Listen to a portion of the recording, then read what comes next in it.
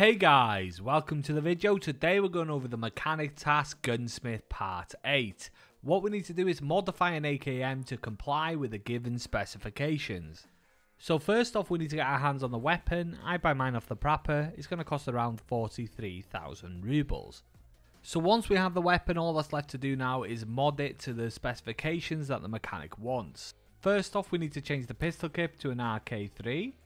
Next, we need to change the stock to the 6P20 SB7 and we need to stick the butt on top.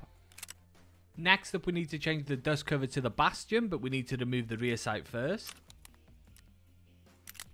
Now for the sight, the first thing we need to stick on is the compact mount, and on top of the compact mount, we're going for the Prism 2.5x. Now for the handguard, we need to switch it to the CAA.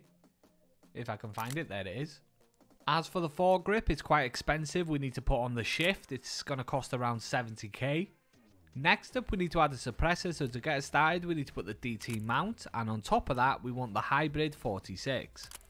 And last but not least, we need to change the magazine. And the magazine we want is the Gen M3.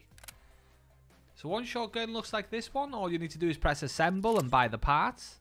And as you can see here, it will be ready to hand into the mechanic. I'm going to leave this one there anyway. If you liked the video, like the video, subscribe if you want to see more. Thanks for watching as always, and take it easy.